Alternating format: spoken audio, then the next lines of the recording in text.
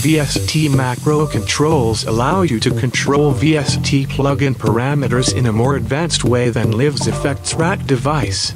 Unlike the Effects Rack which displays parameter values in a range from 0 to 127, VST Macro Controls displays the real values of VST plugin parameters. It is also possible to configure the controls as knobs or buttons, and the knobs can be configured in bipolar mode. To use it, first load the VST plugin and add the parameters using configure mode.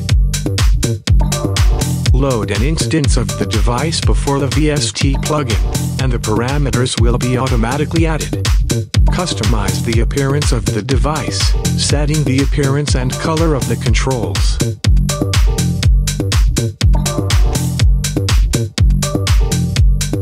After this, you can group it in a live rack and save it for future use. The values of the controls are updated automatically when you change the preset in the VST plugin. And it is possible to use custom names. Check the PDF manual on the VST Macro Controls website for more detailed explanation of all the controls.